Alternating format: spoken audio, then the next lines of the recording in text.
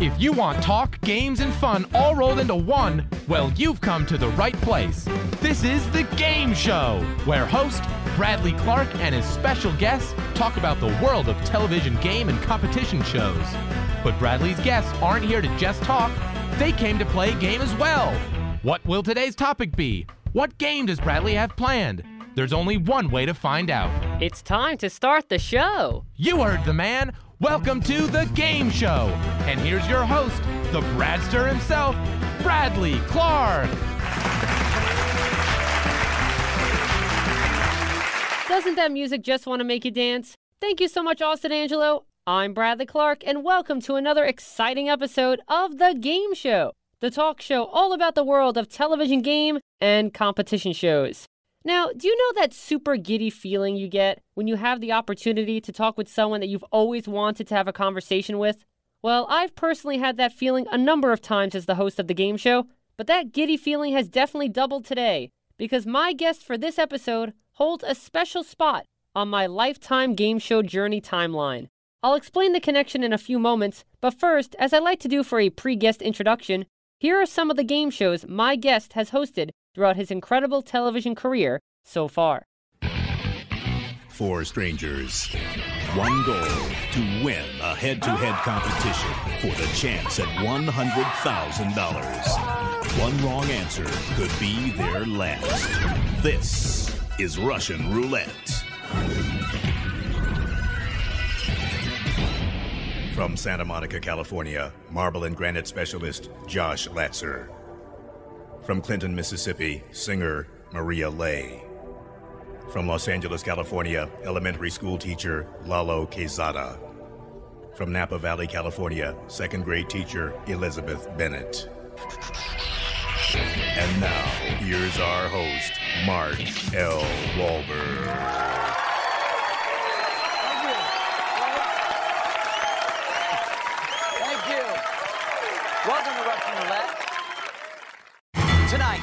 This chair, the only thing that separates a person from $500,000 is 21 questions and their ability to answer each one of these questions with the truth, the whole truth, and nothing but the truth. Is there an honest person left in America?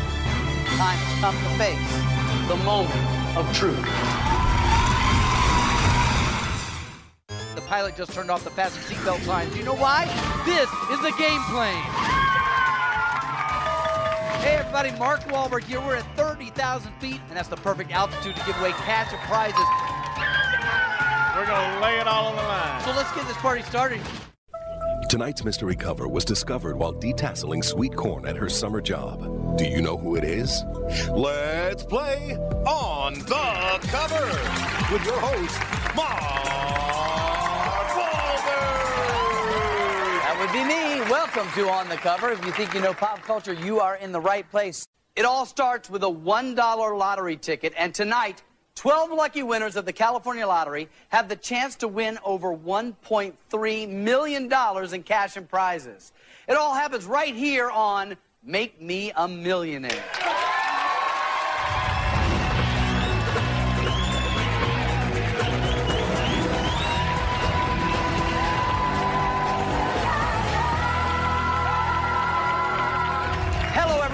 Mark Walberg, and welcome to the brand new show from the California Lottery, Make Me a Millionaire. We've got lots of new exciting games to play and plenty of money to be given away. And someone will play for our jackpot, which tonight is at $1 million. But that's not all. He is the host of the PBS show Antiques Roadshow, is the host of the reality show Temptation Island, and was the original announcer and sidekick of Shop Till You Drop. I'm being very truthful when I say that it is a pleasure to welcome him onto the game show. Joining me on the line is a man who takes no shame in dropping people through holes in the floor, Mark L. Walberg. Mark, thank you so much for joining me on the game show. It is my pleasure. Thanks for having me. Well, thank you for joining me. I wish I could say your name as low as Burton Richardson, but my voice is kind of high. Mark L. Walberg. That's quite all right. Burton Richardson has a voice that's so low that only certain animals can hear him. That was a whole coaching thing where they wanted him to do it as dramatic as possible, and we all kind of laughed about it because it wasn't my vibe at all, but that was the show. It had a dramatic feel to it. You bet it did. It was dire. Before we start talking about your career, I want to share with you how you've been an influence on my career choice. So, when I was in the first grade, after school, I would visit an ice cream shop that was near my house, and I would go there on a daily basis. So the owners knew me well and would let me choose the channel on the TV they had in the shop. Well, one day I walk in and the game show network was on. So as usual, the owner asked me if I wanted the channel changed, but this time I said no. Well, saying no eventually led me to sit there and watch three hours of game shows, and I was hooked. So since seven years old, my dream has been to become a game show host. However, this is where you come into the story. The second show I watched that first day I decided to say no to changing the channel was Russian Roulette because back then GSN aired reruns of the show at 3:30. So Mark, literally from the day the light bulb went off and I realized that being a game show host is a career path I could choose, you have been someone I've looked up to. So I want to personally say thank you. Well, I am so very flattered and honored by that. Thank you. I love doing that show, and I'm glad it inspired you to pursue it. You saw an opportunity to help America, and that's why you wanted to do it. That's right. You know, I have been waiting for the opportunity to talk with you for years, and I'm so glad that today is finally the day. So, we're going to take a trip down game show memory lane and talk about a number of the shows that you've been a part of. And then later on, for the game of the day, I've created an original Russian roulette theme game just for you to play, Mark. Wow, okay. I'm excited to play. So, Mark, are you ready to talk game shows with me? I am happy to talk game shows, sure. Then let's start talking game shows. So I just shared for you how my love of game shows first began. But when did your love for game shows first begin? And was game show hosting always a dream for you? Well, first of all, I grew up earlier than you. And so when I was 10 years old and even younger, daytime TV was made up with a lot of network game shows. And I can remember vividly watching them with my grandmother when I would visit her in Miami. I used to tell the joke all the time. I said, My grandmother's the only person I know who broke her coffee table from ringing in. We watched game shows all day long. And so I think that's when I fell in love with them. I've always been a puzzle guy, a game guy. I like playing games. So I always loved game shows on TV, and I had all the great ones through the 70s and 80s that I grew up on. I never really made the choice that I wanted to be a game show host that was sort of just a series of happy accidents, but it's a job that I really love because I had been a game show nerd from before I even had designs on doing it. It just sort of ended up that way. Now, you began your career as a production assistant for Dick Clark Productions, correct? That's right. Right after I married my wife, who's an actress, I say, I don't know what I'm going to do for a living, and I don't feel comfortable trying to be an actor, so I'll go learn production. And I went to work at Dick Clark Productions. And anywhere you look in show business, even today, you can have people that would say that they went to Dick Clark University, and that's what we all considered it. So that's where I learned TV. Well, it's funny you say that because a lot of friends of mine say that I went to Bob Barker University. Both great professors. That is very true. A lot of great hosts became my television professors, including yourself, and that's how I learned all about game show hosting. Thank you. I'm not on that Mount Rushmore, but I'm glad to be mentioned in the same sentence. Did you ever get a chance to meet Dick Clark? Yes, absolutely. Dick Clark was my first boss. And very early on in my time there, for some reason, Dick knew my name, and it really didn't make a lot of sense. And I ended up being his warm up guy. I did warm up for a lot of his shows, including The Challengers, which was a Jeopardy style trivia game show that ran for a while in syndication. And then after that, I went on and started hosting shows, and I partnered with him on a couple of projects. And he was always a mentor and certainly a role model for me. And then after he passed away, I then became a consultant with his wife, Kari Clark, at Dick Clark Company, which is the second company he started after he sold Dick Clark Productions. And I've worked with them and consulted, and we got nominated for an Emmy on a special that we produced together. And so, yeah, very close the Dick Clark family. Consider him family to me. Little Bradster question for you. Do you know what show The Challengers was a revival of? I didn't realize it was a revival. Yeah, The Challengers was based on the classic 60s and 70s game show, The Who, What, or Where game. Brad Fact. It's the Who, What, or Where game. These are the questions our contestants will be answering today, and let's meet them now. Here's our current champion, returning with $3,225, Greg Nowakowski. From West Barrington, Vermont, a homemaker and mother, Mrs. Claire Durst.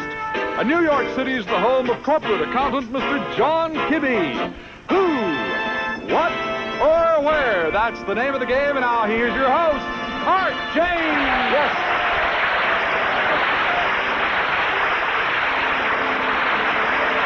Much, everybody, and welcome to the Who, What, or Where game. Well, we have a fine returning champ if you've been watching his exploits the last few days. Two great new challengers. A lot of the three W's coming up in one minute, right after this. Interesting. Wow. It was so early in my career, and I was so thrilled to be doing the warm up. And I remember it was a day and date show, and that was a big deal that they were going to try to do shows that had current topic relevance, which was a challenge. We shot a lot of days. Yeah, the show premiered on Labor Day of 1990, and the announcer would say the date to open the show, and the date was also displayed behind Dick Clark's podium. Brad Fact. Today is Monday, September 3rd, 1990. Our champion, Doak Ferry, is on his way to an ultimate challenge worth $55,000. This is a photographer's agent, Charlie Horan. And this is an overseas director for a courier service, Tony Carpenter. Doak is the champion. Charlie and Tony, you are the challengers. And here is your master of the challenge, Dick Clark. oh, oh. Thank you very, very much. And welcome to the challengers on this Labor Day. I hope you've had a good day. This is a new series, as you may know, and I hope you'll be with us for a long, long time. If you caught our sneak preview last week, you know that our champion is Doak Ferry. And on that preview show, Doak won $7,650. Today we're starting off a fresh Doak, and uh, Charlie and Tony will be doing their best to uh, knock you out of that position. nice people, nothing personal. Uh, any player who wins three games in a row will have a shot at our ultimate challenge, which has now grown to $55,000. Yeah, it was a novel approach and not easy to do back then. And I had a great time being the warm up guy. I used to make jokes at his expense, and he was so sweet about it. I learned a lot, too. That was where I really watched him host because my approach to hosting, to some degree, I attribute to him that he was a producer who hosted. So I would watch him host a game show, but he would be watching a monitor that had the director's cut. And I would literally watch him change how he would host it to make sure the cut would match up and be in sync with the director. It was just phenomenal to watch him work just as a craftsman of making TV. I learned a lot from him there. As I mentioned during your introduction, you were the first announcer and sidekick on Shop Till You Drop from 1991 to 1994. GSN originally just aired the later versions of the show, so when I first saw an episode of the original Shop Till You Drop on YouTube and heard your voice, you should have seen my shocked face because I recognized your voice immediately, but had never known that before Russian Roulette, you were the announcer at one of my favorite game shows. How did you actually land that position? If I told you the story of how I got that job, it's one of many that I could tell you that make no sense. And when you think about you being an aspiring game show host and others who are coming up and doing that, I always say you never know the route. It's never the one you think it's going to be. I was never supposed to do that show. I auditioned to host that show, and they thought I was too young. And so I didn't get the show, and they hired someone else who actually was the same age as me, but he looked like a man. And then I get a call saying, listen, we're shooting the pilot for the show. I know it's awkward because you auditioned for it, but would you be willing to come and do the warm up? We'll have a small audience. You could be the warm up guy. And I said, sure, I'm happy to do it. I was early in my career and no ego involved, and I have kids to feed, and I was happy to do it. I had one kid at the time. And so I show up to do it, and when I get there, they say, our announcer isn't booked. So if you'll lay down a scratch track, basically a replacement track of the game show announcing, we'll replace that when we edit it, but it would sure help us out. I said, sure, I'll do it. How would you like to win the fantasy shopping trip of a lifetime to Rome, Paris, New York, London, or Hong Kong? That's what our contestants will be playing for today on the wildest shopping game ever, Shop Till You Drop! Meet today's challengers. On our first team, she's a pharmacologist and he's a publishing rep. Please welcome Kurt and Debbie Kaplan. And their opponent, he's a photographer and she's an events coordinator. Please welcome Pam Mori and Mel Cavalier. And now here's the host of Shop Till You Drop, Scott Harriet. So I do that, then the show gets sent to editing, but before it gets edited, the network sees it, at the time Lifetime Network, and they look at it and say, We like the show, we'll pick the show up. We don't like the prize model, let's get rid of her. We don't like the host, let's get rid of him, and let's keep the announcer. And so now I'm the announcer on the show, and they hire Pat Finn to be the host. Then we show up to the first day of taping, and they realized they fired the prize model. So when somebody had to bring a blindfold on, I was the only other union performer on the set. I was supposed to be just an off-camera announcer, so I had to bring the blindfold on. Pat and I kind of did some shtick. I don't even remember. Everybody laughed, and then I became what later we called to where Mark because he would say he went on vacation of a lifetime to where Mark, and then I would do the announcing. One of these lucky couples could win the vacation of a lifetime to one of the shopping capitals of the world, like Rome, Paris, New York, London, or Hong Kong. On the wildest shopping game ever, Shop Till You Drop. And now here's the host of Shop Till You Drop, Pat Finn. Thank you very much. Hello to our studio audience. Good group here today. I hope you're doing great at home. Welcome back into our mall here on our show. You two won the toss. You get to go first. Ready? Please come right over here. Right here and let me tell you about this. And if you want, you have the right to pass at this point in the game. Now, we call this stunt no marks. Over here, we have a grid made of numbered rows and then different colored columns, as you can see. On each position is a picture of a product from our mall. In front of us here, we have two different dice. On one side, we have uh, different numbers, and on the other one, we have colored faces. Now, in a moment, you're going to be rolling one of the dice, which will give us a position on the board. Your job will be to guess the price of that product in that particular position. Now, if you can come within $10 of the actual price, you'll hear this. Otherwise, you're going to hear this, and that means we'll put a mark on that square.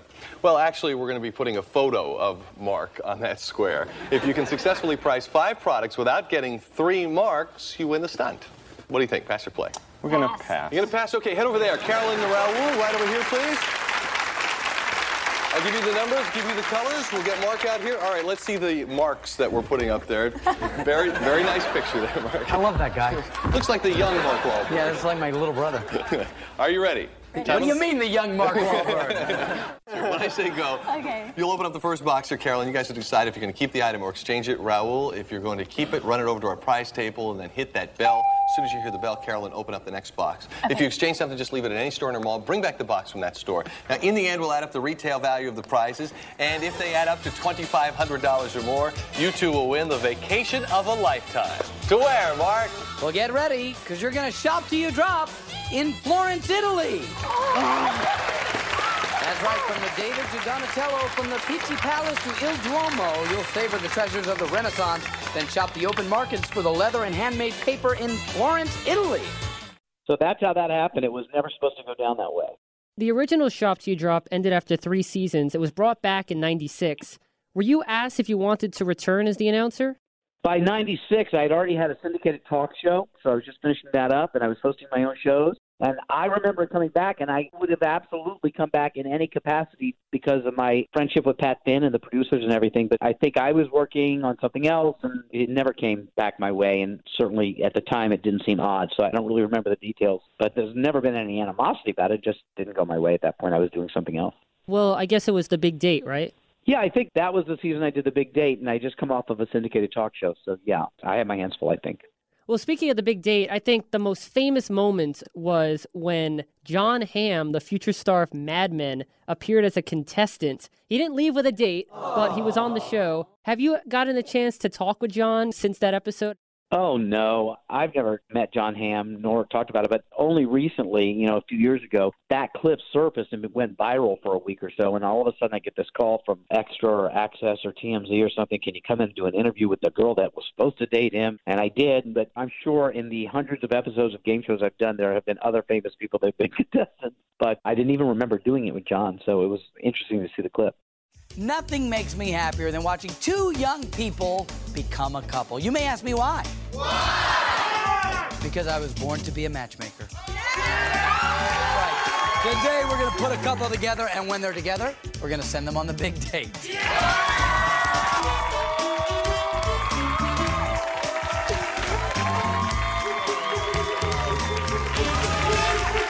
thank you. Hello, everybody. I'm Mark Walberg. Welcome to the big date. All of today's players are here because, well, frankly, they want to hook up with a member of the opposite sex. We're going to do everything we can to make that happen. I have confidence it's going to happen. When they do hook up, they're going to have a chance to go on a really big date that we pay for.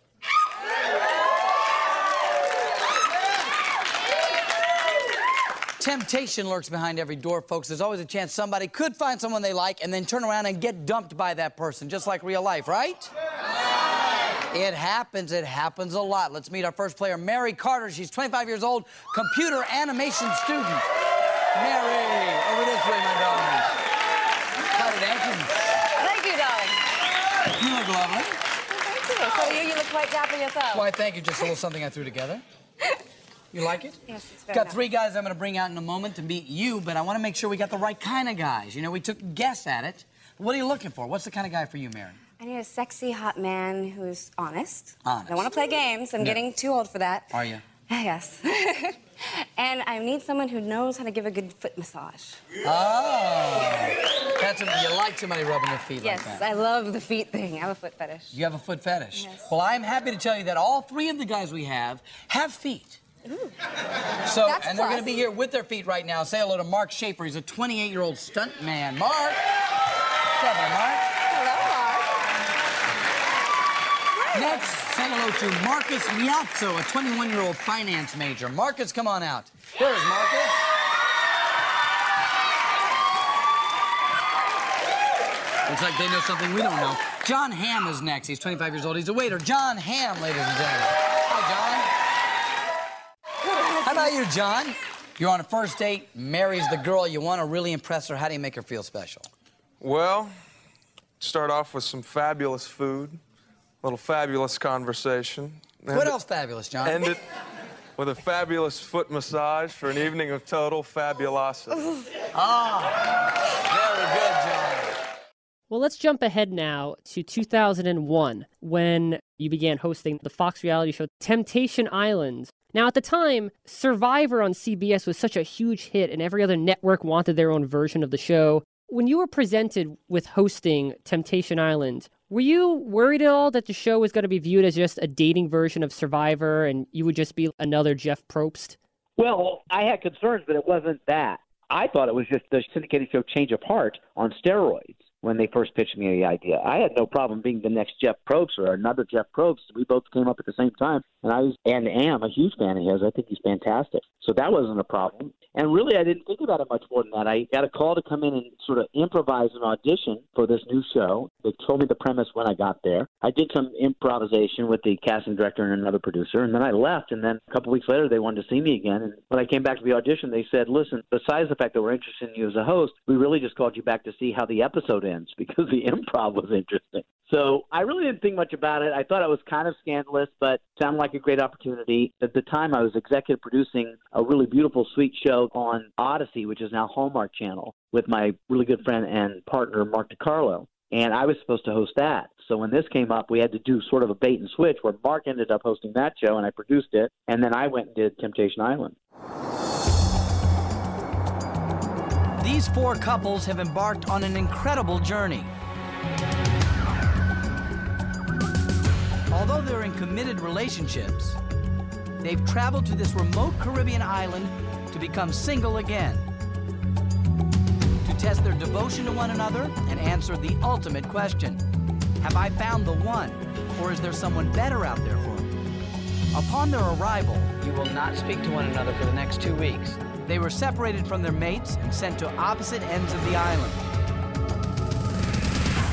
There, they were joined by 26 singles, 13 men, and 13 women in search of romance. For two weeks, they will mix, mingle, and date in an attempt to find new connections. In terms of temptations, she was made to order for me. The least compatible singles will be voted off the island. You've reached a decision? This one is a shocker. Only those who our couples are most attracted to will remain.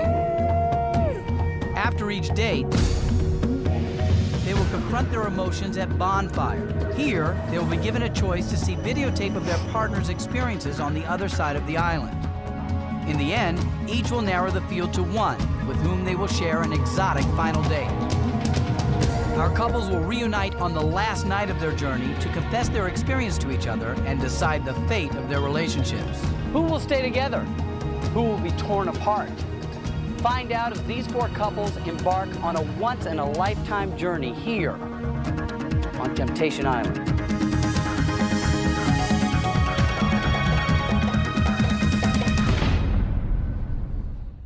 But I don't recall really having a whole lot of concern about it other than it seemed pretty outrageous. And at the time, we didn't even know it was going to air. It was just going to be a six episode test. So you take the job and you go to work. Mark DeCarlo, one of the big winners on Sale of the Century. Brad Fact. Well, we finish up the game with the speed round. 60 seconds on the clock, please. Mark has been brilliant in the speed round, and he better be now because he is trailing. Howard at 35, Deborah at 30, Mark at 25. We start the speed round. Now, who was Sherlock Holmes' faithful companion? Howard? Uh, Mr. Time.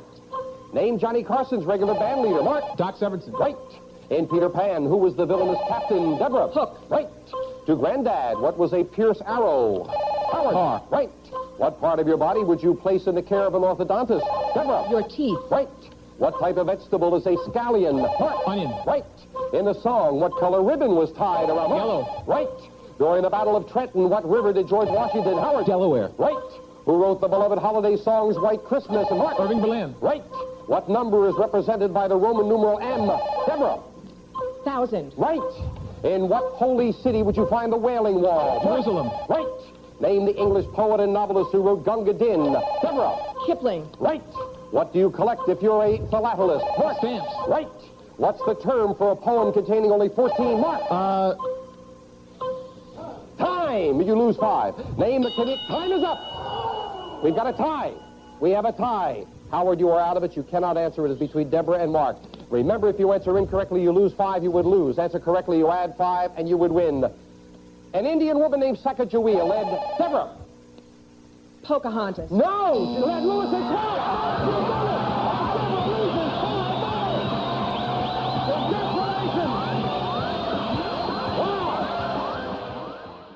Oh, well, Mark, now listen, there's one other thing. Oh, no. You can come back one more time and risk all of this and own the show. No, no, no, no, No, doesn't want to. Well, in that case, you're going to have to say goodbye, and Mark DeCarlo's going to say goodbye with, and congratulations. You took a Thank great, you great much. risk. It has paid off. We are all very proud of I you. had a great time, Jim. Everyone on the show is great. Angela, Lisa, everybody connected with the show. is- is- You're sensational. We wish you well. Are you with okay, career. Ma? Are you sitting down? We wish you well with your theatrical ambitions as well. Thank you very much. Mark DeCarlo leaves us with $115,250. Congratulations to a fine guest. He and I have a storied and honored the past of game show contestant wins. Weakest link. I also was on Lingo, and I beat Mark DeCarlo on Street Smarts. That's right, I completely forgot about that. Reversing the scenario, in 2014, ABC debuted a spin off of The Bachelor called Bachelor in Paradise, in which former Bachelor and Bachelorette contestants live at a tropical paradise and try to find love. Now, while the concept of the show is different from Temptation Island, when Bachelor in Paradise premiered, did you think that the show was based off of Temptation Island? I didn't even think twice about that because the show The Bachelor was in response to Temptation Island, I believe. Big Brother came out and was sort of a hit, but not really. Survivor came out and was a mega hit. Temptation Island came out was a mega hit, and then The Bachelor came out about a year later and was ABC's sort of let's get into the game and became a huge hit. So when Bachelor in Paradise came up, we were already gone for many years. I didn't think twice about it and it made sense, and certainly it was island dating and things like that. But there have been plenty of shows that have that sort of vibe, so I really didn't look at it cynically. Let's say it just seemed like it made sense. And thankfully for Temptation Island fans, the show returned back in January of 2019. I hope you're ready.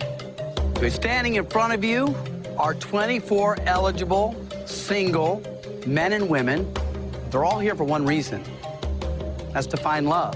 Hopefully, they're going to help you realize whether your partner is the one for you or not. Tomorrow, you'll have a chance to get to know them a little bit better. But right now, I just wanted you to get a chance to see them and let them introduce themselves to you. Because your journey begins right now. Did you not even think twice about wanting to host it again? I didn't think about hosting it again.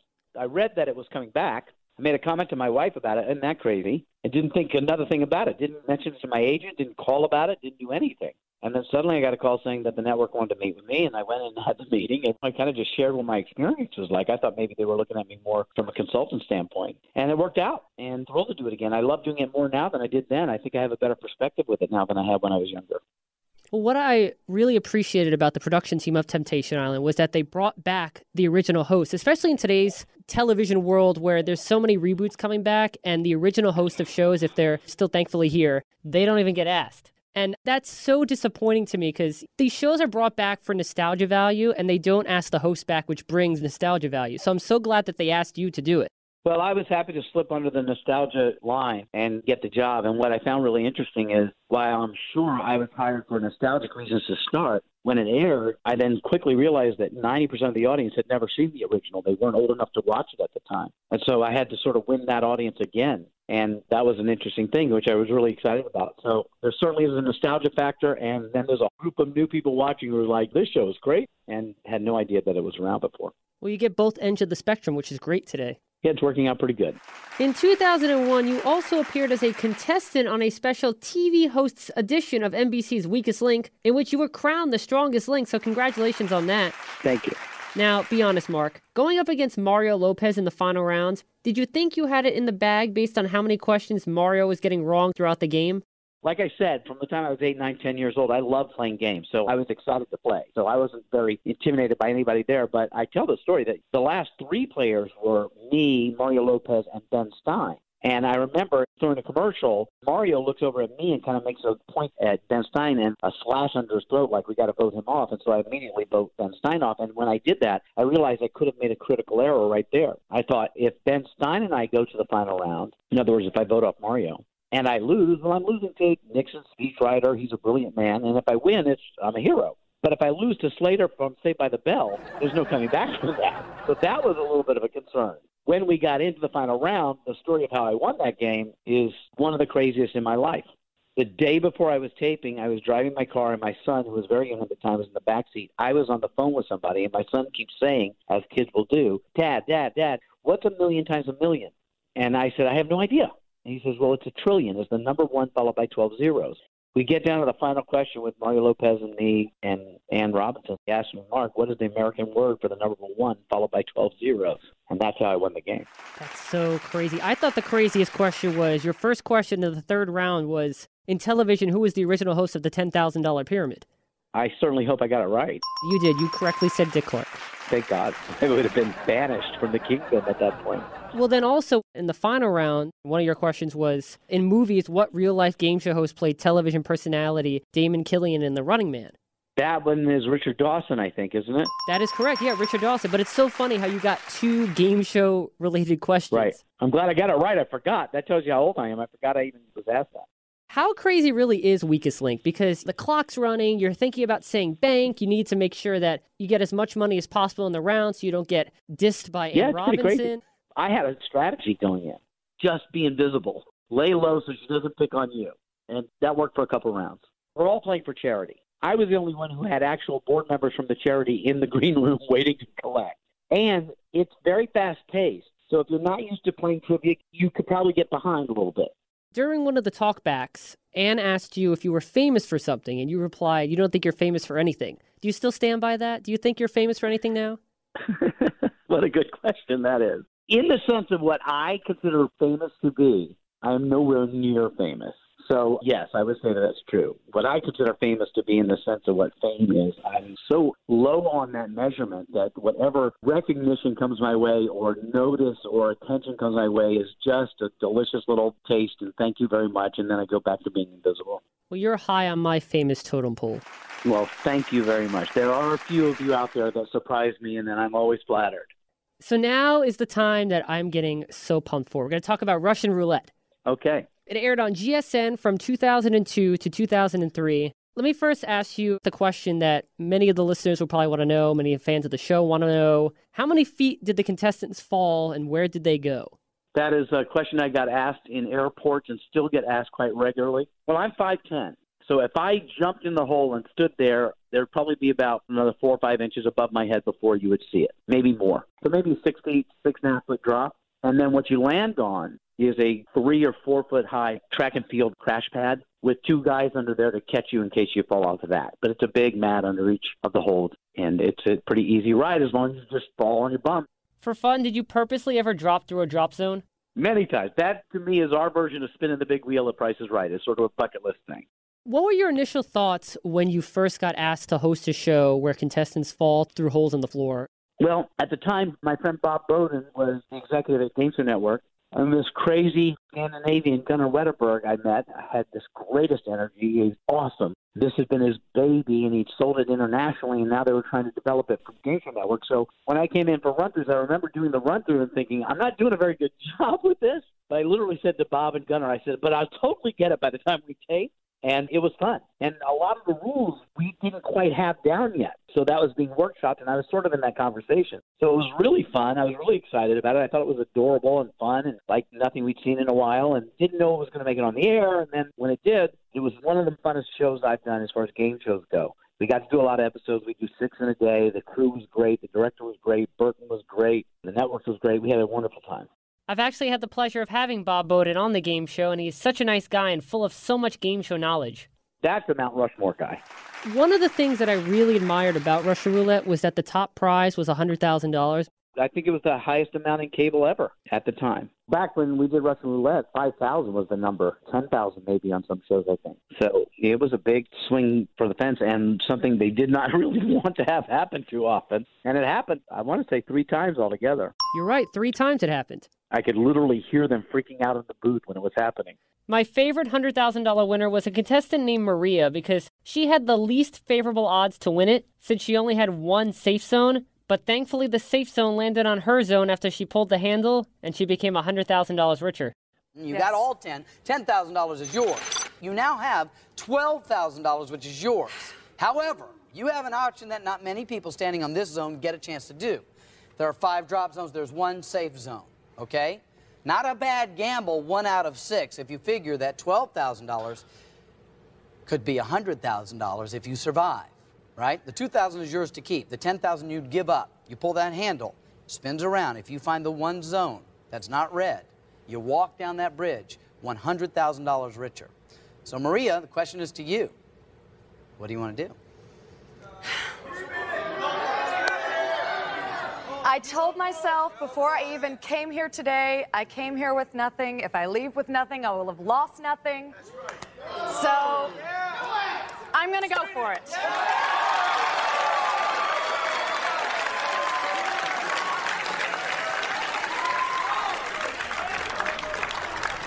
Okay.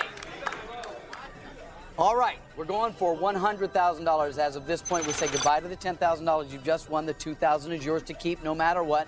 We will now close and reset all of the drop zones.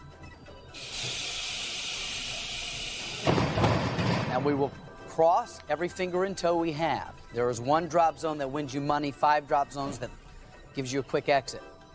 All right? Ready to do this, Maria? Let's do it. For $100,000. I'm crazy.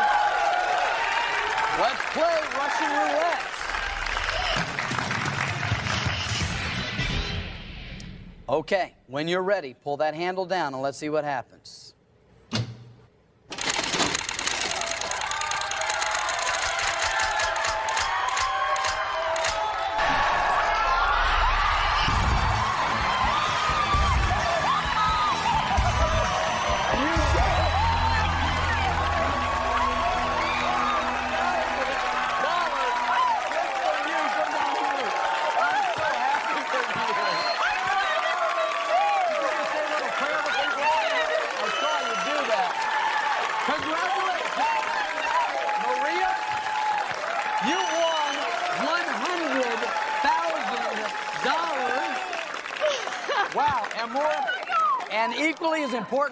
Importantly, you played Russian roulette and lived to talk about it. Maria, congratulations. We are so happy for you.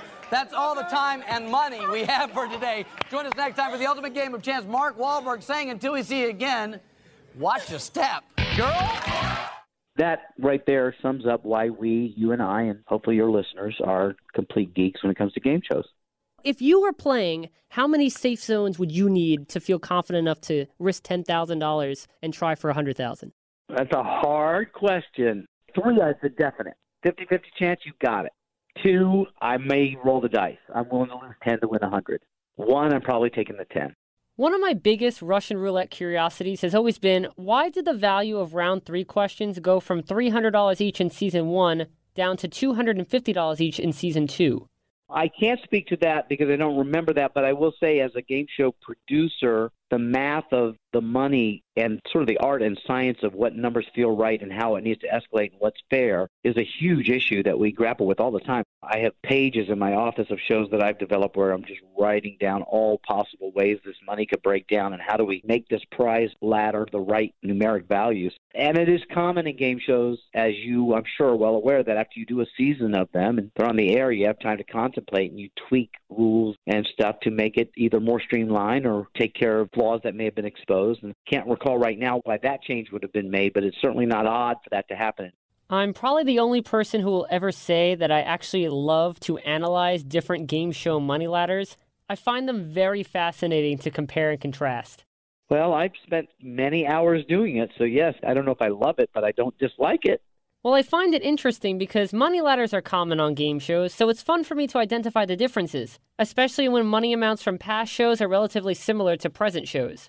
Right. And at what point does the amount change your decision process if there's a decision of going forward or not? So that line of where it becomes dire, where it forces the contestant into a difficult decision, from a creative standpoint, that's a really difficult issue when it comes to a money ladder. You want to make sure that the jeopardy escalates at a proportional way, and also you want the numbers to be something that sounds right the incremental jumps have to be significant enough for the backbone of the game show to continue to play. And then the other conversation as producers you grapple with is how punitive do you want to make things? Is it satisfying enough to have them lose half their money, or should it be a bigger penalty? Like, for instance, the original Millionaire, where you reach certain plateaus and that money becomes safe at that point. Where are those, and at what point is the risk? All that stuff I really enjoy doing, but it's like a puzzle. It's like a game show within a game show. Right. Well, that's one of the great things about Russian roulette was that you risk the ten thousand dollars, but the incentive is that you still keep the money you got from the main games. So you're not risking everything. So it's an incentive also for the contestants to say, well, at least I've won $2,000 already. Why not right. go for it? If not, no one would ever go for it because the odds are not in your favor at the end of that round. It's a long shot, as a hundred thousand in that day should have been. It should be a long shot. It should be a real roll of the dice. Are you hoping to ever see Russia Roulette come back, and would you like to host it? Every now and then, I get a tweet or somebody saying they need to bring it back, reboot this one. And my answer is, let's go. I am ready. Watch your step. I'm ready to go right now. Love that show. Really fun. And there have been versions of shows similar with drops. Ellen did one, and there was a couple other ones that are even more escalated where you exit the show in a dramatic fashion. But something clean about Russian roulette and has that nostalgia factor. And I'd be happy to do it again. It was fun. Well, if I ever had the opportunity to be a part of it, I will gladly help you get Russian roulette literally off the floor. Very well played, sir. Very well played. Off the floor is where you want to be with Russian roulette. Well, it's funny that you brought up the different shows because I wanted to talk to you about that. So, in 2011, NBC debuted a primetime game show called Who's Still Standing, in which Right. contestants would fall through the floor if they didn't beat their opponent in a trivia battle. Now, when I saw this premiere, the first thing I thought of was that it's kind of a ripoff of Russian roulette. Why is this interior designer losing it? What has this property manager feeling so defeated? I'm going down like a sweet muffin. Why is this journalist trembling with fear? I'm so scared. I don't want to go. They're all about to fall through the floor.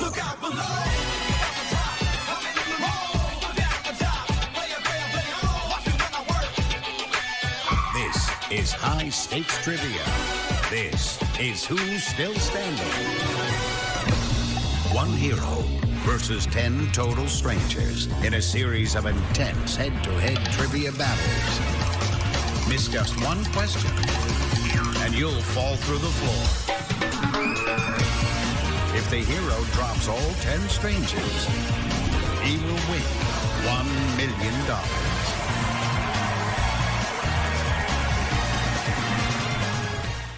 Did you ever get a chance to watch the show? And if so, did you think it was a Russian roulette ripoff as well?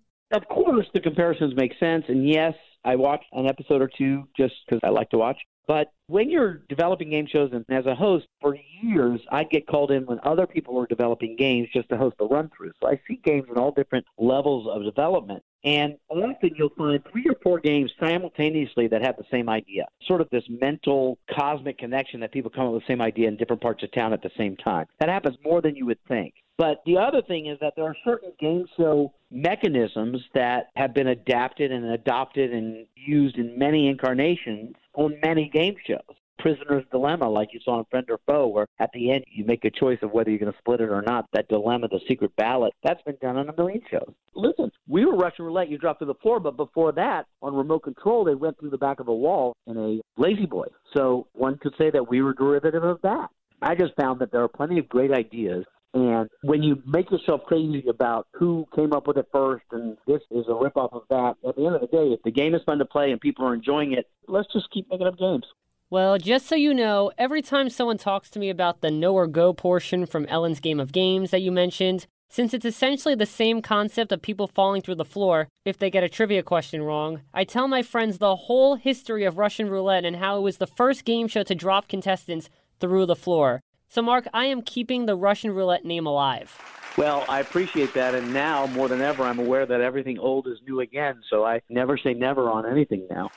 Next up, I want to talk about a great game show in my mind, but a lot of people don't know about it. On the Cover, which was on PAX in 2004. I love that show, and I wish that it would have lasted longer. It was a strange time at PAX, and the producers, we did the show. We taped, gosh, I want to say a week or two of shows. It aired, and the day after it aired, it was pulled from the air. And then four months later, they called me in to redo the pilot, and then we were back on the air. And I don't really remember a whole lot of the details there because as the host, you're not in there producing it. But yeah, that was a rocky start with a show that ended up being pretty cute after we kind of retooled it.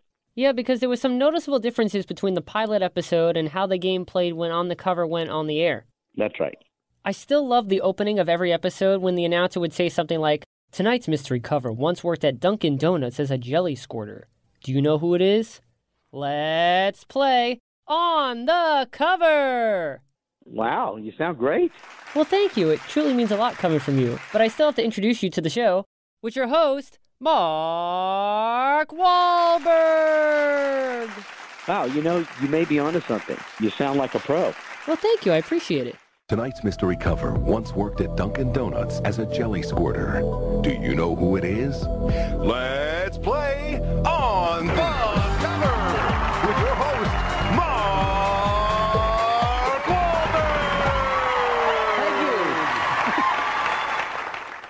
So, next up, I want to talk about one of the most controversial shows to ever air on television The Moment of Truth. It's the show everyone in America has been talking about for the last three months, and it's finally here. It is the simplest game on television. One participant, 21 questions, and all that is required is the willingness to tell the truth. Have you ever thought that your boyfriend Jeff might be gay? Blame your father for tearing your family apart. Is there a part of your husband's body that repulses you? Do you really care about starving children in Africa? Have you ever helped someone smuggle something into the country? Have you ever been paid for sex? In the quest to win $500,000, people are willing to expose everything about themselves, their families, their lives. Have you ever gambled away one of your children's college funds? Do fat people repulse you? Have you ever had sexual relations with my sister? This is no ordinary game. Have you ever suspected your wife of cheating on you? Oh, if you gotta take that order on this one, I'll throw my shoe. Would you donate a kidney to save your father's life? Get ready, America. What? The moment is finally here. Do you think you will still be married to your husband five years from now? It's the most anticipated show in the country, and it starts right It ran on Fox for two seasons from 2008 to 2009. Now, personally, I love Moment of Truth. I still watch some of the episodes that are on YouTube. I find it riveting. Now, when you were presented with the concept of the show and you heard that the whole point of the game was for individuals to reveal personal information about themselves to win money, did you have any hesitation about the show? Well, here's another one of those crazy stories. Some people call this one urban legend, but I'm here to tell you it's the truth. It was never like that. The way it went down was I was shooting a game show pilot for a different game show that had to do with antiques actually. And I was shooting in a studio in Hollywood. It was a Friday. And I started at 8:30 in the morning and it wasn't going very well and I was sort of writing on the fly as it went because it was pretty disorganized. And by the time the show finished, I was pretty exhausted. So rather than taking off my suit and washing my face and getting my makeup off, I said, "You know what? I'm just going to drive home." So I'm walking out to my car and a dear friend of mine called me and said, "Hey, we're doing this pilot for NBC. We just fired our host. How quick can you get here? They want you." And I said, "Where are you?" He said, "I'm at Sunset Gower." I said, "Well, I could be there in five minutes."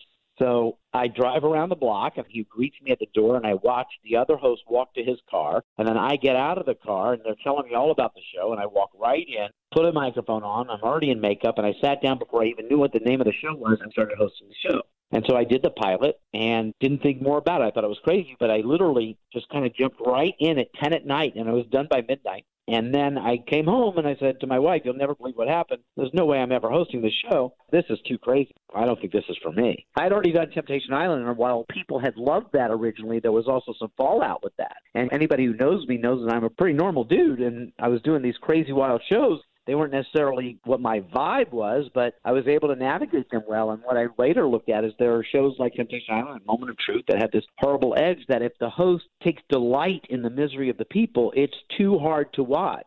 But if the host can empathize with we're not so different from these people and find some humanity in it, then it becomes palatable and you can go with an edgier show because there's some humanity to it. So NBC passed, and they took the pilot, and apparently it's sold in 20 countries around the world. And then Fox picked it up, and I had had a relationship with Fox from the original Temptation Island and some other stuff I'd done there.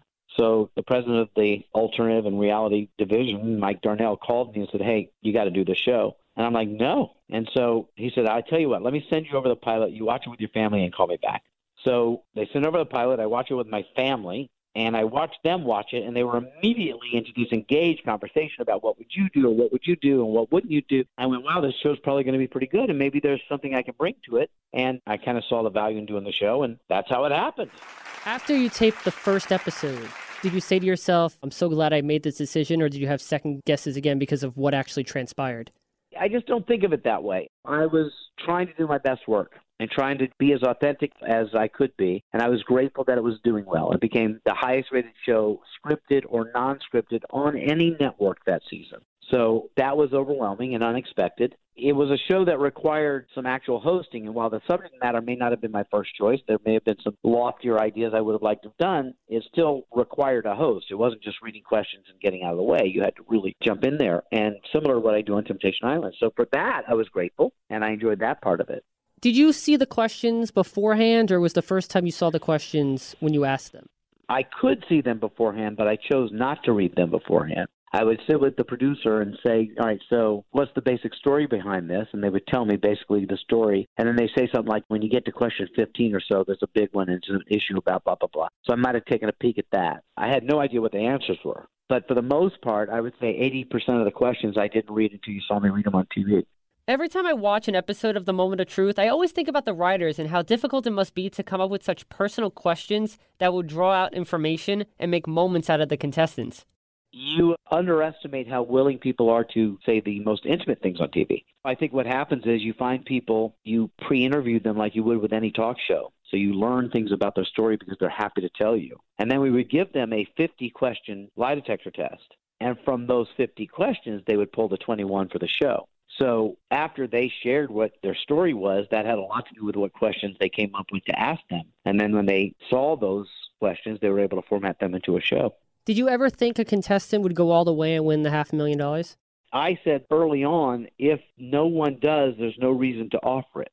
It has to be won. You have to be able to win it. There was a big difference of opinion once the show got on the air and became a hit. I thought, and there were others that felt this way, that there was so much depth to explore in the gap between what people think is true about themselves and what is actually true about themselves and that all shades of that could be part of the show. So every now and then you need somebody who's really honest and really truthful and really great. We cheer for them. And then sometimes it could be comical and sometimes it could be more intellectual. But what I remember saying to the producer after we started one right after another, as hard as we could, I said, We want a 10 year run of this show, but the network wants a hot 10 weeks. And that's pretty much how it changed. We immediately went from doing a show like Millionaire, where if they lost, we would start a new story mid show and go into the next one. And instead, they just took the juiciest ones and stretched out as full episodes. And it took a turn. And I feel like there were years of possibility of a show that could have been both tragic and uplifting, depending on the people that you book. But they really just wanted the train wreck. So that's what they got, and it ran its course. They would do teases within the body of the show that belied the gameplay. So the question you're asking now, you already know they must have gotten it correct or they would have been out. So there was a lot of that. It became more of a sensational talk show, and the gameplay became secondary. And of course, as a game guy, that didn't really jive well with me. And it was always we would be doing a show that was promoted as the most controversial show ever. And during that show, you would have the promo for next week saying, "And the most controversial episode yet." It was like, come on, we can't do this every week. But again, I wasn't a producer; I was just hosting the show.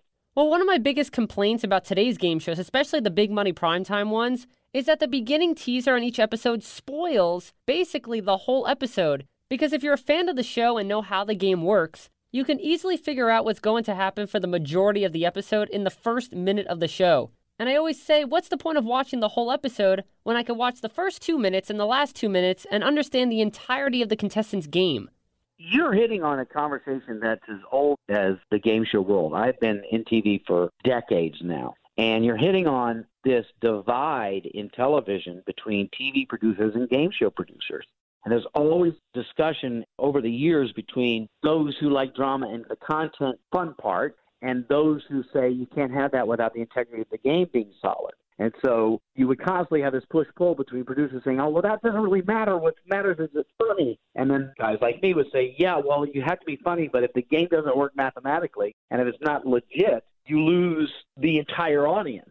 There have been so many shows that have come on the air that you think the gimmick is the answer, but I always say that those people who've been successful with game shows develop a game that almost works with a paper and pencil first, and then you add the bells and whistles. When you start adding rules or bells and whistles to a game to fix it, you're already in trouble. If the game doesn't play like Hangman on a piece of paper, then all the bells and the whistles won't do a thing for you. So that's the kind of stuff that drives game show guys like me crazy is when you do stuff that belies the actual integrity of the gameplay, even in the most absurd context, then you lose a big portion of the audience. Some like you who recognize it for what it is, and a lot subconsciously because they don't understand why it doesn't matter. An example was, and I'm going to get in trouble by saying this, but there was a show that Ryan Seacrest did, Knock Knock Live, and it was apparent to anyone watching that it wasn't particularly live. And when the people would come out of the house to do whatever the gameplay was, there was no integrity to the gameplay, so you knew they were just going to get a gift. And the show lasted two episodes, and I felt like if it's not real, if there's not actual jeopardy of losing or winning, and if you're saying live, it's got to be real, then the audience smells and it's less fun. And I see that mistake happen all the time like I said, it's a perennial argument. It's been going on since the beginning of game shows. And where it gets tricky is when you get into shows that have an element of, I'm going to distract you while you're trying to do this or stuff like that. It has to be quantifiable. So when you do stuff that's stick or gimmick that's supposed to affect the gameplay, but it doesn't, it's not quantifiably affecting the gameplay by an actual number or time amount or something like that, then it's just lipstick on a pig. The only person to ever win the half a million dollars was a contestant named Melanie Williams. Was that one of the episodes that went unaired? I have to assume we shot a second season, and then the stock market crashed in 2008. Or at least that's the story I got.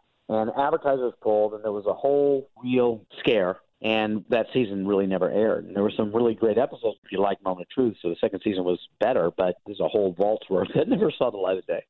Yeah, so she was asked a question regarding her father, who was a polygamist. And not only was she the first person to ever make it to $350,000, she was the first person to ever go for the final question and win the half a million dollars. Brad fact. Thankfully, the clip is on YouTube, so I've been able to see it. For $500,000, Melanie Williams. Question 21. Do you believe your father, as an adult, has ever had sexual relations with a minor?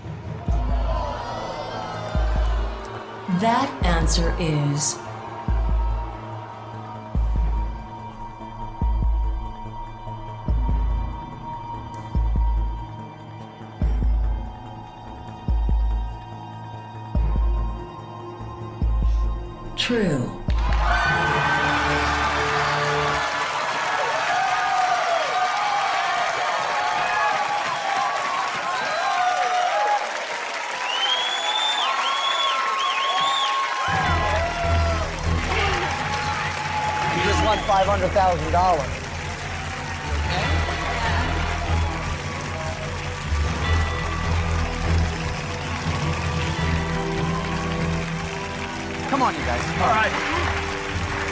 Tore you up. You get it all, okay? I Tore you up. How did you get it done? This one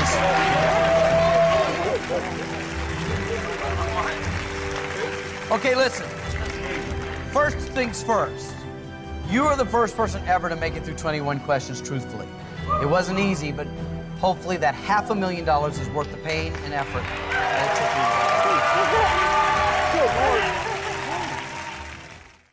Did you ever imagine that a contestant would risk $350,000 on one true or false question just to gain another $150,000? Well, first of all, it goes back to our earlier discussion about math. That money ladder was in high discussion because if that last decision isn't weighted correctly, you'll never make that decision. So that was typical game show stuff right there. The Moment of Truth money ladder is one that I always found interesting because it started out with a $10,000 level and then a typical game show increase from $10,000 up to $25,000. But then it jumped to $100,000. And those four questions in that level were usually the questions that would trick people up. And I guess you maybe figure that after $100,000, people might stop. Those were very personal questions, and those were like the meat of the episodes. Right. That's where they built the drama to be is that they breeze through the first few questions and then you get to the point where you've got some money now and whether you get it right or wrong, what's about to be asked, you may not want on TV, or at least that's the conceit of the show. Knowing that all of these questions you knew were on the sheet because you've answered them already. So you don't know which ones we chose, but you knew what it could be. And I've said to them, look, you don't know what question is, but you know what it could be. And think of the worst one on that test. This is it. And I found on that show particularly, which is often the case, what you and I would do is not what contestants would do. And sometimes I think that contestants choose to go on a show because it will force them to say something that they wouldn't have said. It would certainly make more sense and probably more responsible to tell that person directly at home, maybe with a therapist. But I think sometimes people make that choice because it forces them to say stuff that they can't say. In season two, there was a rule change in which once a contestant reached $25,000, that money was safe and could not be lost. Because back in season one, if a contestant lost after the $25,000 level, they would go home with nothing. Would you happen to know why this rule change was put into effect? Because I'm very curious about it. I don't recall, and I probably wasn't consulted. At the time, I probably had a very specific opinion about it. Sadly and gratefully, I've done so many shows over my lifetime that I sometimes forget the minutia of the rules, and I would have to sort of be a student of my own work to watch episodes and remind myself. And I'm sorry to tell you that while I do like to watch game shows, I rarely watch myself, so I don't remember. No worries at all. It's just another one of my obscure game show curiosities that I have. I love that you're passionate about it and you've got these questions. I'm a little embarrassed that I don't have those answers. I always tell this story. My wife was in the original Friday the 13th movie, and she gets these fans who ask her detailed questions about the movie, and she's like, I worked on it for two days. I don't really remember. I feel like we have a responsibility not to disappoint those hardcore fans, and I certainly don't want to, but at the same time, some of the details that you aficionados remember and research have gone by the wayside for me. I love that there's a passion, and I run into fellow game show nerds like me all over the place, and it's sort of like a secret handshake. We're all in the same club. Well, speaking from personal experience, one of the greatest aspects of the game show community is that many of the members, including myself and yourself, know the history of the genre and love what they do. You bet. To close out the moment of truth, I want to talk about probably the most famous episode of the show, which featured a contestant named Lauren Cleary. That's when I realized I may be the most gullible person on the set because to me, every episode was a big deal. I was worried about how people would react and concerned about their well-being and really took it very seriously. And then I remember doing that episode, which I said to the producers, I really am not behind this. I think it's too far. And then they turned that on me by making me say to the audience, this episode I asked the producers not to air, but they aired it anyway, which makes me promote it anyway. Welcome to a special Monday night edition of The Moment of Truth. This episode was so controversial, it sparked a long debate as to whether or not to air it at all. Quite honestly, if I had my vote, it would not air. It is the most uncomfortable I've ever been on television, asking these questions and listening to the answers that were given. But in the end, it was decided that this episode should air. I will tell you, however, that the truth is often not pretty. So here it is. This is the moment of truth. And then I'm all upset about it. And then we do the episode, and afterwards, the boyfriend, the husband, and Lauren wanted to take a picture with me together. So I was like, wait a minute, am I the only sucker here?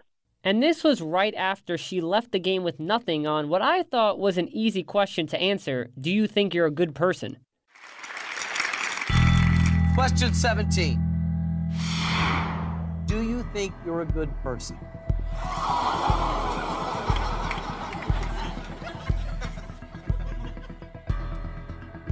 Honestly, I think I am a good person. So your answer is? Yes.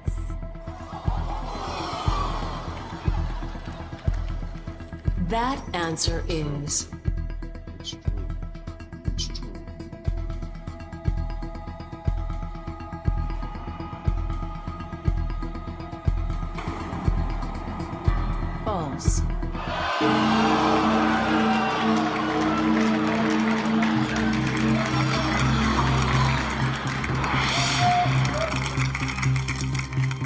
Lauren, I am so, so sorry. Why do you think this came up as a lie for you when I asked you, do you think you're a good person? Because even after everything I have done, stealing the money and everything, I think that I've become a better person. That's why I think I am a good person. Yet it came up as a lie, which means that somewhere in you, you haven't forgiven yourself, and you, somewhere, your truth is that you don't think you're a good person at all. Why don't you go out and hang out with your family? And I thank you very much, Lauren, for being on the show. I wish you the best. Well, see, now you bring up the crux of how that show works is that the factual stuff, you know if you cheated or not. You know that answer. What you don't know is, do you think you're a good person? Because what the lie detector professes to measure is your response to a question.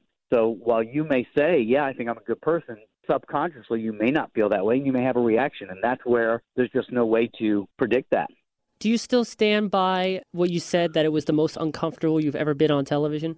I stand by that it was one of the most, but I've had some recent ones on Temptation Island that have been very raw and very deep and very real that parallel or at least rival. And you're still happy that they aired the episode? One of the things you got to get okay with very quickly in the business is as the host, you don't have any control over any of that. And to think that you do is a waste of energy and will make you crazy. So I do what I can to do the best I can in the moment. And what happens after that, I don't have control over. Currently, you are the host of The Price is Right Live, which is a traveling stage show of America's longest running game show. And just for you, Mark, I'm wearing my Cliffhangers Yodely Guy shirt as we speak. Now, I've certainly dreamed numerous times about being able to host The Price is Right, especially since I know all of the games and have hosted the show at home and for class projects. I've even said that out of all of the game shows currently on the air, The Price is Right is the one I would love to host the most because I love the audience participation aspect of the game. Was The Price is Right a dream game show gig for you as well? Well, it certainly was a fun thing. Everybody loves that show, and doing a live show is fun because I love the audience, and doing The Price is Right is an American institution, so I still feel that same way about it. What's your favorite pricing game? I used to like It's in the Bag. I have a great time with Punch a Bunch, but they're all really fun to do. Plinko, of course, everybody loves. My favorite is Punch a Bunch, actually. Yeah, I like Punch a Bunch. We have a good time with that. It opens our show, and it's fun to play around with. Did you already know how to play the games as a fan, or were you told how to play them? No, I didn't know how to play the games. I'd certainly seen a lot of them, but I didn't know how to play them. But you know, when you host the volume of numbers of games I've hosted in my life, you start getting into game show pattern. You know how to get the rules of the game. You basically hear it from the producer and you say, okay, I got it. The words are there because you talk like a game show host. So it wasn't difficult for me to learn the games and it's not difficult to play the games. And it's very important when you're hosting any game show to be a master of the game itself because stuff goes down. And like I said, the integrity of the game matters. So when a clock is on it or pricing is on it, you have to be exact. But that stuff is very easy for me. It's something that I've spent my whole career doing. So to me, that show, I do it for fun, just all out fun. Well, I hope that one day I can join the list of people who have hosted an incarnation of The Price is Right. I hope so. Well, thank you so much. I truly appreciate you saying that. So, next, I want to briefly talk about Make Me a Millionaire, which was a California lottery game show. And what was interesting about Make Me a Millionaire was that it replaced The Big Spin, which ran for 23 years, and the last host of The Big Spin was none other than Pat Finn. It all starts with a $1 lottery ticket. And tonight, 12 lucky winners of the California lottery have the chance to win over $3.3 million in cash and prizes. And it all happens right here on Make Me a Millionaire. He heard that he wasn't going to be doing the new version of it, and he's the one who said, Well, if I'm not doing it, I want you to do it. So he kind of put a word in for me there. Pat Finn's one of my dearest friends. He is one of the best people you will meet in the business. He is as fine a man as anybody you'll ever meet.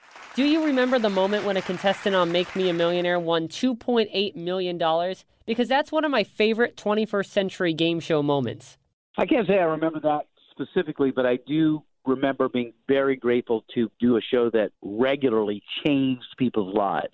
That you could just see it happening. This is the moment where their life changes forever. And that's another sort of intrinsic thing about being a game show host that's pretty special. You could total up how many things you've given away, how much money you've given away, how many people's lives have been changed for the better by the things they've won. That's pretty fun. Glad to be part of that. All right, here's how this works. Josephina, in front of you are 11 orbs. Each one generates a number between 1 and 50. Okay, we're going to start the first one spinning right now. And all you need to do is select our first number by hitting that button whenever you're ready. 49 is your first number. And just by doing that, you've earned $10,000. I have a feeling you know how this works. I'm going to ask you if you think the next number is higher or lower. Every time you're right, I'll give you $10,000. If you make it all the way to the end before making two mistakes, it's $2.8 million. So, higher or lower? Lower. Lower, whenever you're ready. Lower. And a good low number. You now have $20,000. Let's spin the third orb. Higher or lower? Higher. Higher, whenever you're ready. $30,000. 40 is the next number. Let's spin the fourth orb. Higher or lower? Lower. Whenever you're ready.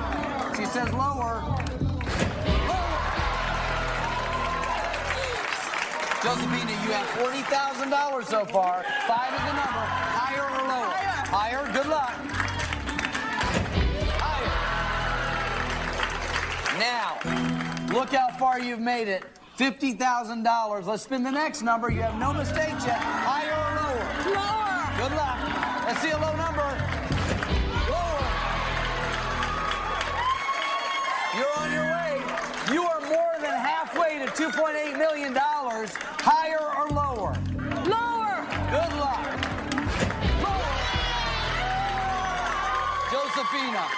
$70,000. Four more right. $2.8 million. Higher or lower? Higher. Good luck.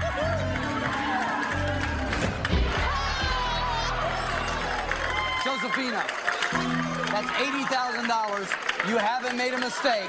46 is your number. Higher or lower? Good luck.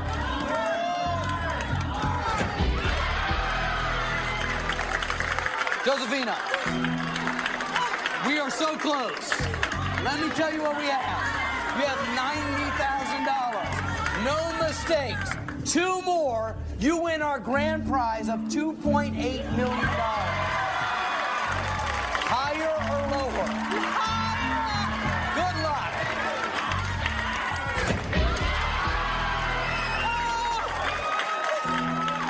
Josephina, come here. You have no mistakes. One more orb. If you are right, it's $2.8 million. So, Josephina, higher or lower? Lower. If this is right, You are a very, very rich woman, Josephina. Whenever you're ready.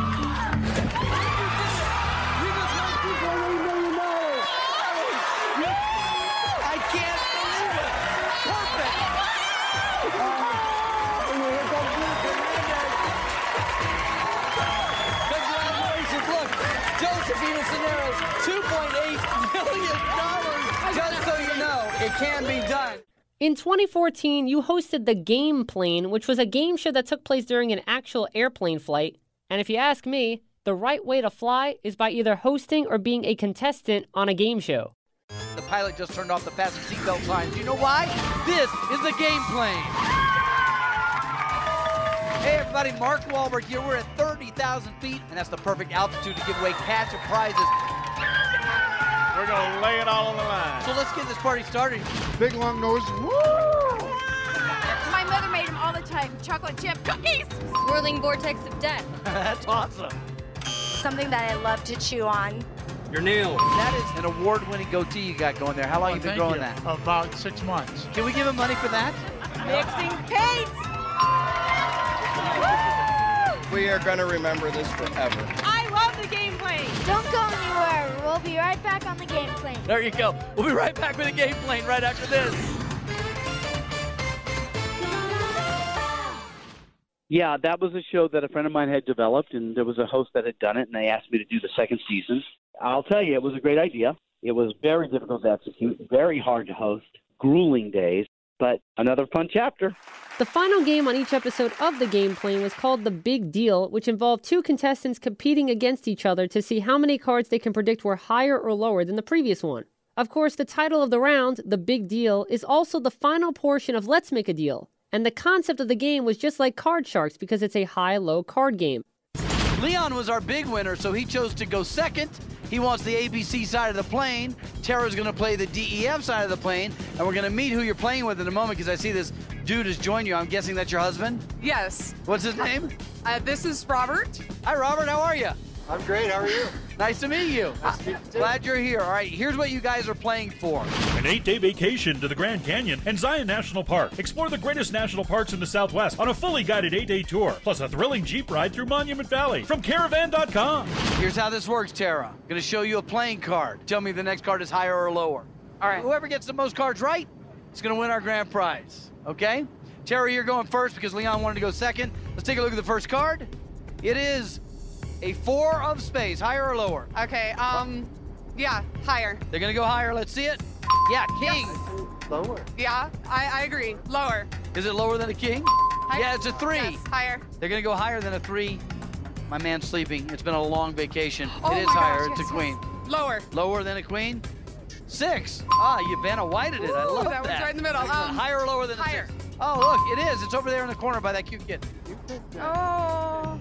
Higher. Gonna go higher than a seven. Let's see what it is. It is higher. Lower.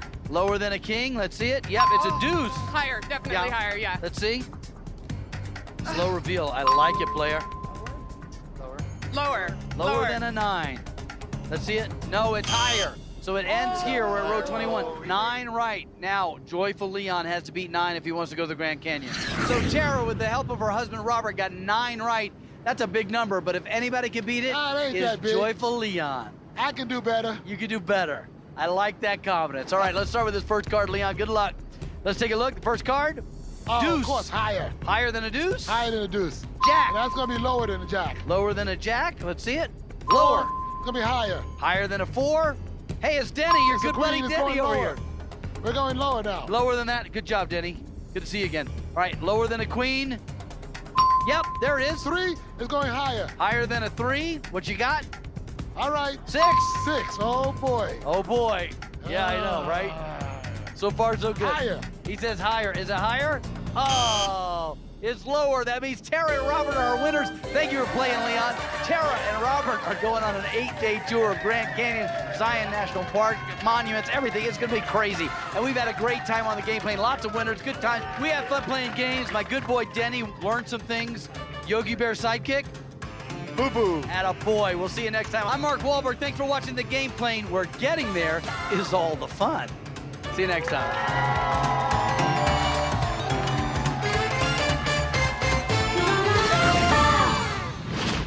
Was this round made to be an homage to both Let's Make a Deal and Card Sharks? I don't think so at all. I think it was developing some sort of game we could play on the airplane. The deal aspect was play on the words of it. They were cards. And almost all of those games were derivative of something. And so I don't think it was a purposeful homage, but an easy and fun way to have a bonus round. Before we get to the game, I just want to quickly talk about a show that many people probably recognize you from Antiques Roadshow, which you've been hosting since 2006. Antiques Roadshow is thrilled to be finding tons of treasures in Portland, Oregon. Antiques Roadshow is seeing magnificent treasures at Meadowbrook Hall in Michigan. Antiques Roadshow has landed in Central Florida where the sky's the limit for great treasures. Has there ever been any talks of creating an Antiques Roadshow based game show? I have been asked that every year of my career since I took that show as a host. I did a pilot for one. There have been many pitches that have come across my desk, but none that have really nailed it. And it's an interesting show. That show works the way it works, and if you change it, it doesn't work. But while it seems unnatural for a game, nobody's really been able to make that work and make it stick, in America at least. Don't worry, Mark. I'll come up with an Antiques Roadshow game show and I'll send it to you. That sounds great. Do you ever get a chance to watch the appraisals on set? Yeah, when I was doing the show regularly, I don't travel with that show anymore. There were times in my day where I could watch some appraisals, but it was really interesting. I would be shooting my stuff while they're shooting their stuff, so those chances were a little few and far between. I would have breaks where I get to hang out at a table and see people who weren't making it on TV come and bring their stuff in and hang out for that process, which is 95% of what goes on there. But the stuff they're actually shooting, it's pretty hectic day, so I was doing my stuff when they were doing their stuff. For you, how exciting is it to see someone find out that a painting they found in their attic is really a Picasso or their grandmother's vase is worth $10,000? When it's a big surprise, it's certainly the key to that show being on the air for 24 years. So it's exciting, and that never gets old. And it's very much like a game show in the sense that you're watching somebody's life change for the better. You're absolutely right about that. Well, Mark, we have reached my favorite portion of the game show, and it's always even more special for me when I get to create and host a game for someone that I've watched and looked up to since my childhood. Well, I'm glad to be a part of it, and I'm a little nervous, so let's play. There's no need for you to be nervous. You're going to do great. It's time for the game of the day. Game of the day. And as I mentioned at the top of the show, I have created a Russian roulette themed game just for you to play, Mark. And this game is so inspired by Russian roulette that I've decided to call it Radio Russian Roulette.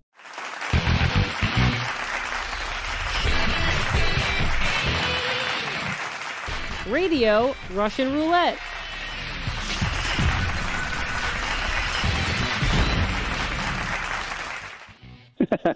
okay, let's play.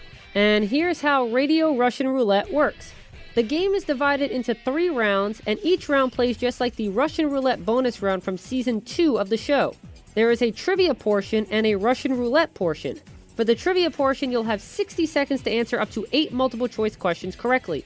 And the reason why it's not 10 questions is because you do have a disadvantage in that you cannot see the questions. So I figured as a way to balance out that disadvantage, you'll instead only need to answer eight questions.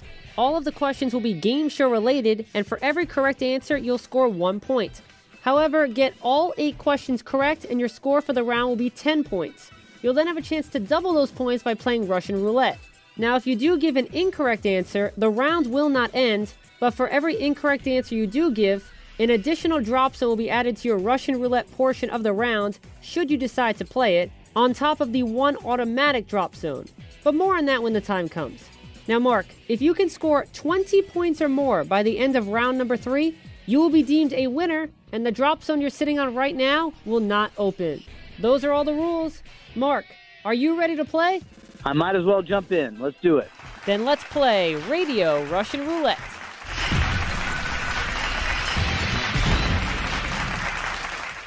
And we're going to start with round one.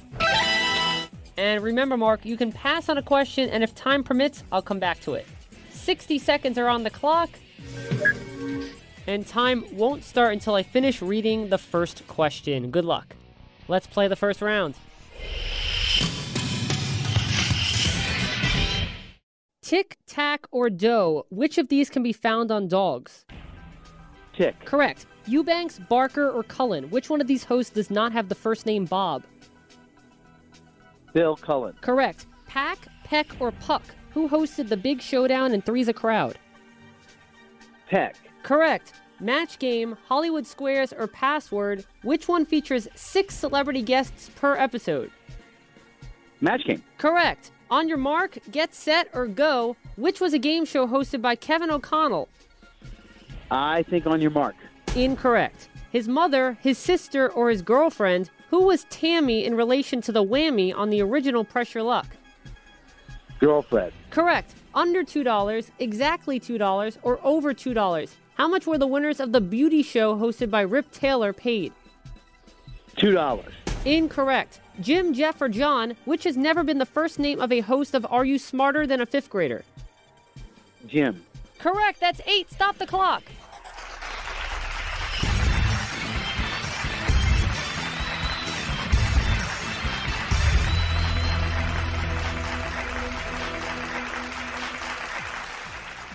You got six correct answers, which means you only got two wrong. And let me go back and reveal the correct answers to the ones you missed. On your mark, get set, or go, which was a game show hosted by Kevin O'Connell. That was Go. And under $2, exactly $2, or over $2, how much would the winners of the beauty show hosted by Rip Taylor paid? That was under $2 because it's the $1.98 beauty show. Also, Eubanks, Barker, or Cullen, which one of these hosts does not have the first name Bob? You correctly said that it was Bill Cullen. Pack, Peck, or Puck, who hosted the Big Showdown and Three's a Crowd? You were correct in saying Peck because it was Jim Peck. And Jim, Jeff, or John, which has never been the first name of a host of Are You Smarter Than a Fifth Grader? That was Jim because the two hosts have been Jeff Foxworthy and John Cena. And before we move on, not too long ago, we sadly lost the legendary Rip Taylor. So I just want to say rest in peace, Rip. And thank you so much for all of the great game show memories you provided us over the years. So you got six points that round, which is very strong. Six out of eight, not bad. So now you have a decision to make. I have six cards in front of me. Because you got two questions wrong, I have to add two drop zones to the automatic one. So three of the cards are safe zones, and three of the cards are drop zones. You can risk your six points you earn this round from your six correct answers to play Russian roulette and try to double those points to 12. However, if you do go for it and pick one of the three drop zones, you will lose those six points. So, Mark, what do you want to do? I think for the sake of gameplay, I'm going to go for it. That's what I love to hear, Mark. Best of luck. Let's unlock your zone. And for 12 points, let's play Russian roulette. One, two, three, four, five, or six. Two. Number two is a safe zone. You just doubled your points.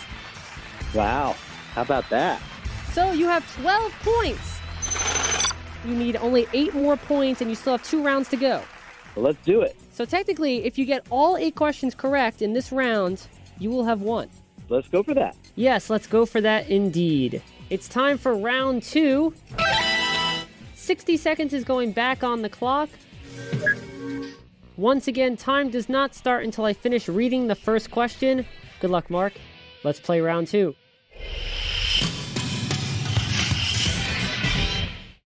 Grand Slam, touchdown, or slam dunk, which followed the number 50 in the title of a Tom Kennedy hosted game show. Grand Slam. Correct. Black, white, or gray, who won a Daytime Emmy Award for hosting Just Men? White. Correct. The Chair, The Chase, or The Wall, which game show was hosted by John McEnroe?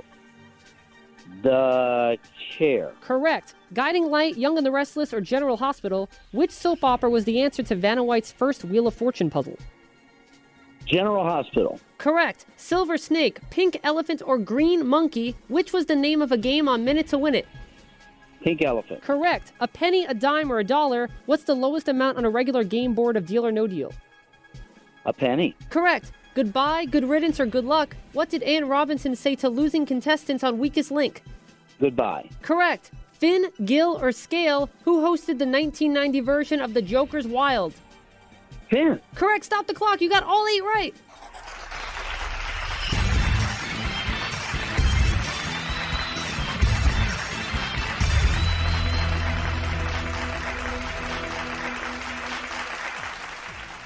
And not only did you answer all eight questions correct in that round, congratulations, Mark, you just won Radio Russian Roulette.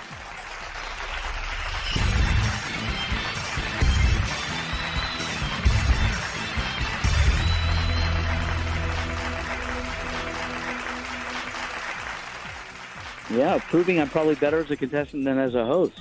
No, not in my eyes. You are equally valued as both host and contestant. Thank you. And quickly, let me go back and explain some of the answers from that round. Grand Slam, touchdown, or slam dunk, which followed the number 50 in the title of a Tom Kennedy hosted game show. And you correctly said Grand Slam because the title was 50 Grand Slam. Black, white, or gray, who won a Daytime Emmy Award for hosting Just Men? Again, you were correct in saying white, as in Betty White. And Silver Snake, Pink Elephant, or Green Monkey, which was the name of a game on Minute to Win It? You were right in saying Pink Elephant. And Silver Snake and Green Monkey, both of those are team names from the Nickelodeon game show Legends of the Hidden Temple. Brad fact. So with the 10 points you got in this round, you're up to 22 points. And you've already won, but just for fun, why don't we play Russian roulette to see if you would have doubled your points for the round? Okay. So let's unlock your zone and let's play Russian roulette. Since you answered none of the questions incorrectly, you only have to deal with the one automatic drop zone. So with one drop zone and five safe zones, mark one through six, which number would you like to pick? Four. Number four is a safe zone. You just doubled your points again. So, Mark, your score after two rounds is 32 points. Would you like to play the trivia questions of the final round to see how you would have done? Okay, let's play this final round. All right, here we go. You ready? Yeah. This is round three. 60 seconds is going back on the clock. And let's play Russian roulette.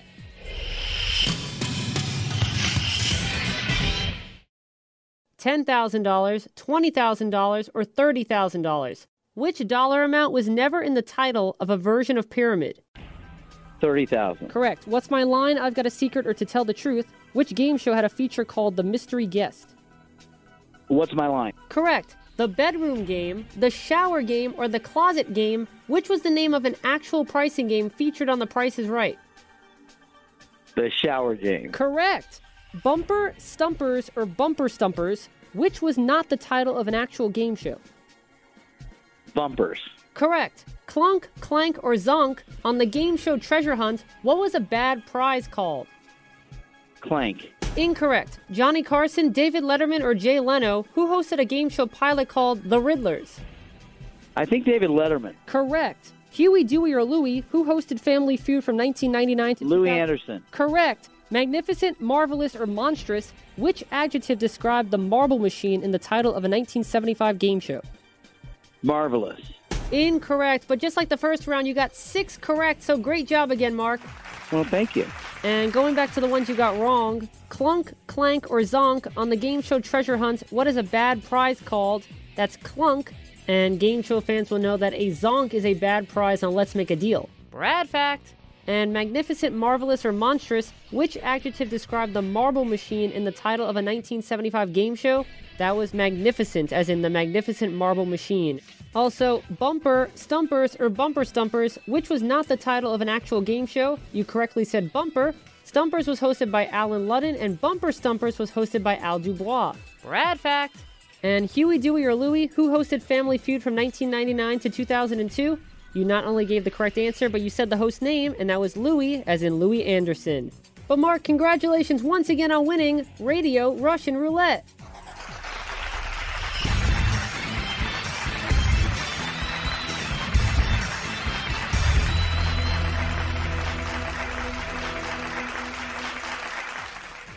Thank you. I enjoyed every minute of it. Well, I enjoyed every moment of creating and playing this game with you. And that was the game of the day Radio Russian Roulette.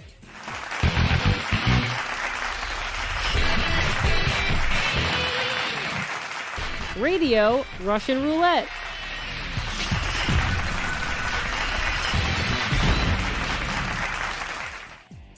Well, Mark, this has been such a thrill for me to talk with you about your game show career. So, from my 22 year old self, as well as from my seven year old self who first watched you on Russian Roulette, thank you so much for taking the time to join me on the game show today. Thank you for having me on your show. I'm honored that you wanted to talk to me and grateful for all of your listeners. And as always, you have an open invitation to join me whenever you want to talk some more or if you just want to play another game. Thank you, Bradley. All right, Mark. Thank you again for inspiring me to want to become a game show host, and I look forward to seeing what's in store for you next. Well, my pleasure, man. And thank you so much and good luck. All righty, take care. All right, take care. Bye bye. Well, unfortunately, the truth is we are out of time for this episode of The Game Show. My thanks once again to game show host Mark L. Walberg for being my special guest today. Now, if you've dropped in late when an episode of The Game Show is airing and you want to listen to that episode in its entirety, you can check out all of my episodes of The Game Show by logging on to www.soundcloud.com slash Bradley underscore Clarke that's B R A D L E Y underscore C L A R K E slash sets slash the game show. That's www.soundcloud.com slash Bradley underscore Clarke. That's B R A D L E Y underscore C L A R K E slash sets slash the game show. Plus, don't forget to like the game show starring Bradley Clarke on Facebook and follow the game show starring Bradley Clarke on Twitter using the handle at the Game Show BC and hashtag the Game Show. But of course, be sure to tune in next time for another exciting episode of The Talk Show, all about the world of television game and competition shows, The Game Show. I'm Bradley Clarke, the Bradster, and Mark, why don't you say the last line for me? Join Bradley Clarke next time for the ultimate radio show about game shows. Until you listen to the game show again, this is Mark L. Walberg saying, remember, watch your step. Bye for now. This edition of The Game Show was created and produced by Bradley Clarke and was recorded at the WRHU studios. This is Austin Angelo speaking.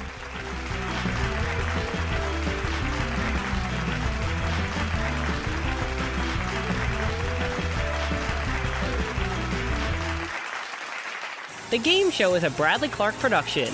Get your game on.